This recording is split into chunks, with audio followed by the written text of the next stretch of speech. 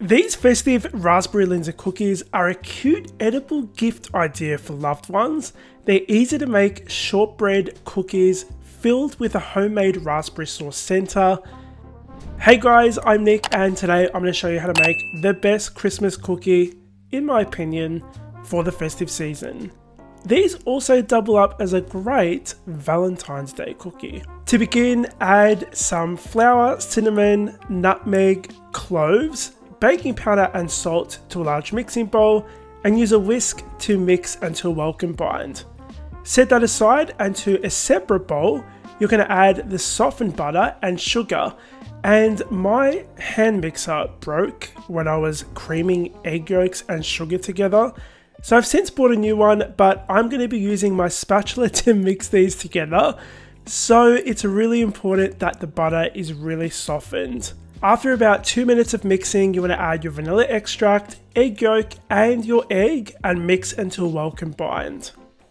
The mixture is going to look a little bit split which is normal. You want to add half of the flour mixture in there and mix with the spatula, then add the remaining flour mixture and mix until a dough forms. You want to mix just until no dry ingredients are showing, you don't want to overdo it, otherwise you'll end up with a tough cookie. Ha, tough cookies.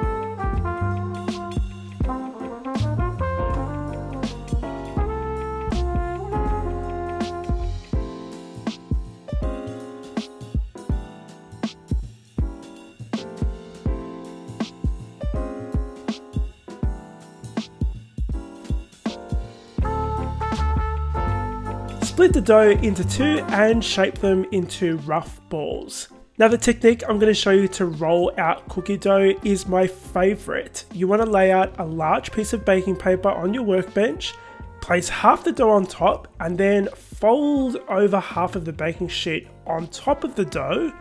Use a rolling pin to roll out, it's not going to stick to your workbench or your rolling pin. Roll it out to about 1 8 of an inch thickness then place it on a baking tray and chill in the fridge for 30 minutes. In the meantime, you can preheat your oven to 175 degrees Celsius. I'm going to be using a 3 inch cookie cutter to cut out as many cookies as I can.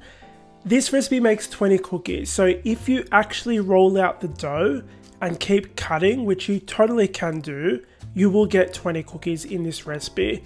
Can you double the recipe? Absolutely. I did that this year because I love giving these out as gifts.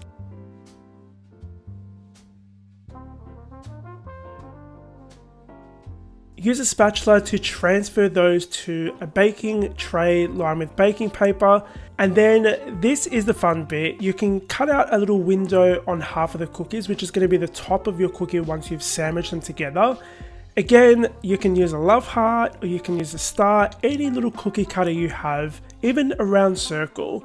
Love heart ones will mean that these are great for Valentine's Day, so use your imagination, use whichever cookie cutter you have. You're going to bake these for 8 minutes or until the very outside of the cookies are a little bit golden. Let them cool down completely and then place the cool down cookies with the hole cut out onto a cooling rack with a baking tray underneath and dust them with powdered sugar. On the other half of the cookies, you're going to pipe some raspberry sauce or jam. I'm using my raspberry sauce recipe, which is over on my website at scranline.com.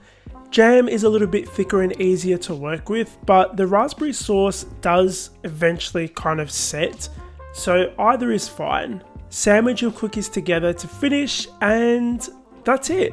These are ready to serve and gift. If you want to grab the recipe, and you totally do, it's over on my website at scranline.com. Link for that is in the box below.